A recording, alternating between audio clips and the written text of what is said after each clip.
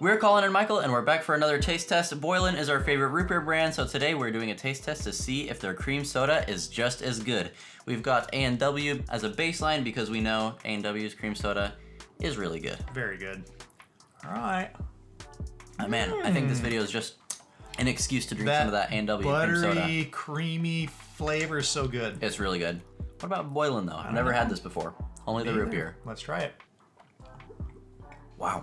It's like even creamier cream soda. And it's got a little bit more kick to it, I would say. Mmm, there's a huge flavor difference. It's sweeter and creamier. But I think mm-hmm. I do like it a little bit better. I think the Boylan is better too. And by the way, it was hard to find Boylan before, but you can now get Boylan in Fred Meyer's. Right, Kroger brand. So go pick some up there. We post food reviews every single week, so subscribe to our channel if you haven't already.